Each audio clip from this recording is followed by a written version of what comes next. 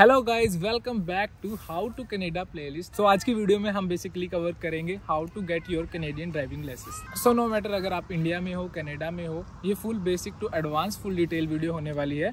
सो so, इस video के बाद आपको किसी वीडियो की ज़रूरत नहीं पड़ेगी जल्दी से वीडियो शुरू करते हैं. तो सबसे पहले हमें जानने की ज़रूरत है हमें किस चीज़ का ड्राइविंग लाइसेंस चाहिए.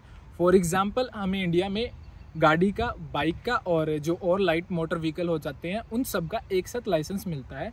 हालाँकि कनाडा में ये सिस्टम नहीं है। यहाँ पर लाइसेंस कैटेगरी वाइज डिवाइड है। फॉर एग्जांपल, यहाँ पर category A B C D E F G H इस तरह से डिवाइड है। अगर मैं बात करूँ कैटेगरी ए की तो उसके अंदर बहुत सारे लॉन्ग हैवी व्हीकल हो जाते हैं। फॉर एग्जांपल, लंबे ट्रक जो लोडिंग अनलोडिंग में जाते हैं कैटेगरी बी में, उससे हल्के सी में, उससे हल्के डी में, उससे हल्के। सो इस वीडियो में हम कवर करेंगे कि हमें कार का ड्राइविंग लाइसेंस कैसे मिलेगा और वो किस कैटेगरी के अंदर फॉल करता है। तो जो कार का ड्राइविंग लाइसेंस होता है, वो अंडर जी कैटेगरी के फॉलो करता है और इसके अलावा अगर मैं बात करूँ तो बाइक का सो कैटेगरी एम के अंदर फॉल करता है। तो ये तो होगी साइड की बात। तो अभी हम आते हैं मेन बात की। तो चलो भाई, सीधी बात करो कि अब गाड़ी के ड्राइविंग लाइसेंस कैसे मिले। तो उसके लिए हमारा होता है जी कैटेगरी तो जो जी कैटेगरी है कार ड्राइविंग लाइसेंस की, वो अंदर थ्री कैटेगरी के सब कैटेगरी के अंदर डिवाइड करी गई है। For example G one G two और जी तो हमें तो एक गाड़ी का लाइसेंस चाहिए और यहाँ तो G one G two G two तो सिंपल शब्दों में बताऊँ तो जो गाड़ी का लाइसेंस है, वो तीन कैटेगरी में डिवाइड है। जीवन को हम लर्निंग बेसिक जी टू को और लर्निंग बेसिक और जी को हम फाइनल फुल जी कह सकते हैं। तो इसको अभी मैं समझाता हूँ what is G one G two and G so G one is the knowledge test exam जो आप देते हो कनाडा में आके सबसे पहले और ये मैंडेटरी है ये सीरीज़ इसी तरह चलती है। सो so, अभी बात करते हैं हम जीवन की रिक्वायरमेंट्स की इसके लिए क्या रिक्वायरमेंट्स है। सो so, बेसिकली इसके अंदर एज क्राइटेरिया रहेगा आप 16 ईयर ओल्ड होने चाहिए एटलीस्ट और अगर आप इंटरनेशनल स्टूडेंट हो तो आपका पासपोर्ट अगर आप कैनेडियन हो तो कैनेडियन आईडी और जो आपका शायद से सीन नंबर होगा, वो लगेगा। मैं इस वीडियो के डिस्क्रिप्शन में दो तीन लिंक दूँगा। उनके अंदर आप और डिटेल में जाके पढ़ सकते हो, और क्या क्या रिक्वायरमेंट्स है। तो ये तो रही डॉक्यूमेंट की बात। तो अब हम बात करते हैं जीवन टेस्ट के फ़ीस की।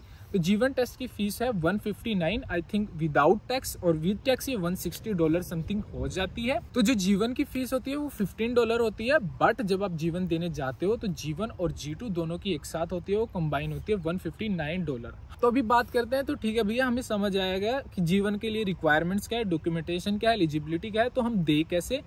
तो फॉर एग्ज़ाम्पल अगर आप कहीं भी हो अपनी लोकेशन के नियर आप सर्च करोगे ड्राइव टेस्ट नियर मी आप वहाँ जाके दे सकते हो, आप बुकिंग भी करा सकते हो। एक मेरा सजेशन आप सभी के लिए, अगर आप ब्रैम्पटन मिसिसागा टोरंटो या और कहीं क्राउडेड एरिया में हो तो अगर ड्राइव टेस्ट सात बजे खुलता है तो मे बी आप उससे पहले चले जाओ, क्योंकि वहाँ बहुत सारा क्राउड होता है, जैसा कि आप इमेज में देख सकते हो। और अगर आपको क्राउड के बीच में खड़ा नहीं होना you can book online appointment I think वो दस डॉलर की शायद पड़ती है बट आई डोंट नो तो आप सब वो वेबसाइट पे जाके चेक कर सकते हो, मैं उसका लिंक दे दूँगा। सो अब हम बात करते हैं कि जीवन में आएगा क्या। बेसिकली उसके अंदर फोर्टी क्वेश्चन होते हैं ट्वेंटी ट्वेंटी दो कैटेगरी में डिवाइड होते हैं। जो फ़र्स्ट कैटेगरी होती है वो ट्वेंटी मार्क्स की होती है ट्वेंटी नंबर्स की होती है उसके अंदर सिग्नल साइन सिंबल्स होते हैं। जो सेकंड कैटेगरी होती है वो स्नैरियो होते हैं जो नॉर्मल सिचुएशन होती है कि आ, कुछ उसके अंदर फिक्स चीज़ें होती हैं और कुछ होते हैं कि हाँ इन केस अगर आपका यहाँ एक्सीडेंट हो गया इमरजेंसी होगी तो आप उसमें कैसे रिएक्ट करोगे उसके अंदर क्या सही डिसीज़न लेना आपके लिए सही रहेगा। Basically you need to score at least sixteen in each part जो दो पार्ट हैं हर एक पार्ट में सिक्सटीन एटलीस्ट आने चाहिए। अगर आपके सिक्सटीन से बिलो आए हैं तो आप फेल कर जाओगे। हाँ अगर आप अपने जीवन में फेल हो गए तो आप उसको दोबारा भी दे सकते हो रीटेक दे सकते हो। But you have to do only pay sixteen dollar और आप मल्टीपल टाइम दे सकते हो। हाँ अगर आप साइन वाला पास करते हो और दूसरे वाला नहीं पास करते हो, कहने का मतलब है, अगर आप एक पार्ट पास करते हो और दूसरा नहीं करते हो तो जो पार्ट आपने पास किया है, वो आपको दोबारा देने की ज़रूरत नहीं है। जो नहीं पास हुआ वही आप दे सकते हो। उसी दिन, उसी टाइम और कभी भी दे सकते हो। और जो बात रहती है जीवन की वैलिडिटी की। आई थिंक वो सिक्स सिक्स मंथ की होती है उसके बाद वो एक्सपायर हो जाती है। सो so नाउ हम बात करते हैं कि हमें जी टू कैसे मिलेगा।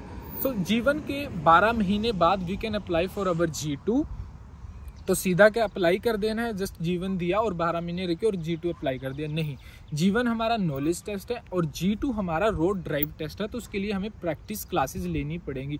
बट इंस्टेड ऑफ़ बारह महीने या दो साल वेट करने के आप सीधा जी टू या जीवन दे सकते हो वो कैसे? अगर आप इंडिया में हो so don't forget to bring your Indian driving license और अपना एक्सट्रैक्ट सो so, कई जगह पे for example currently I mean Windsor तो यहाँ पे आ, आपका ड्राइविंग लाइसेंस चल जाता है वो एक्सट्रैक्ट की ज़रूरत नहीं पड़ती but if you are in Toronto if you are in Brampton then you must have to need your extract letter तो वो एक्सेप्ट नहीं करते जो कि मेरे साथ भी हुआ था। सो so, अब बात करते हैं कि आपको एक्सट्रैक्ट लेटर मिलेगा कहाँ तो वो हमारी लोकल जो कचहरी होती है वहाँ से मिलेगा।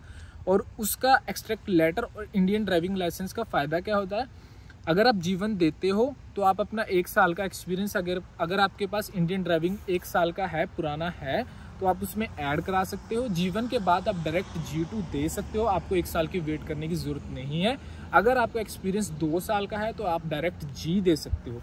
बट अच्छे से क्लासेस लेना और दे देना। तो अभी बात करते हैं चलो आपने एक्सपीरियंस डलवा लिया और आप जी टू दे सकते हो एलिजिबल हो जीवन के बाद।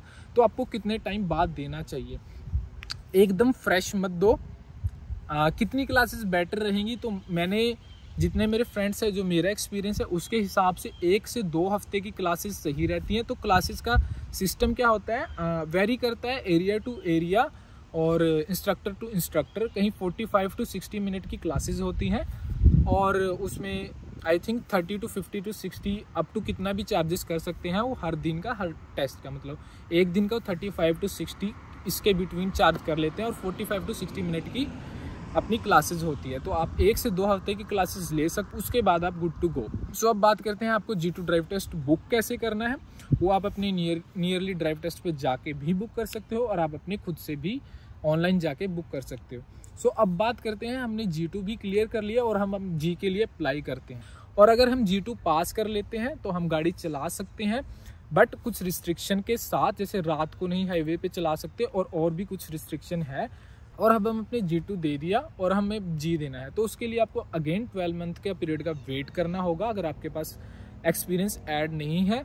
तो उसके बाद आप अगेन नाइन्टी डॉलर लगेंगे आपके जी के लिए, आपको बुक करने के लिए और आप अपना जीवन उसी प्रोसेस से नियर बाय ड्राइव टेस्ट से बुक कर सकते हो। अगर आपका इंस्ट्रक्टर आपकी सब चीज़ों से सेटिस्फाई हो जाता है then you will get your G full license आप कहीं भी, कैसे भी गाड़ी चला सकते guys guys guys guys guys guys so guys एक golden tip I want to share with you जो मेरे को भी नहीं पता थी। जितना पुराना आपका जी लाइसेंस होगा, उतनी कम आपकी इंश्योरेंस होगी। फॉर एग्ज़ाम्पल आप जब भी कनेडा में लैंड करते हो विद इन वन मंथ आप अपना जी लाइसेंस और सीन वगैरह, बाकी सारे काम ख़त्म कर लो। बाकी सबका इतना चक्कर नहीं पड़ता बट लाइसेंस जितना पुराना होगा, उतनी आपकी इंश्योरेंस कम पड़ेगी, उतना आपको बेनिफिट आगे जाके होगा।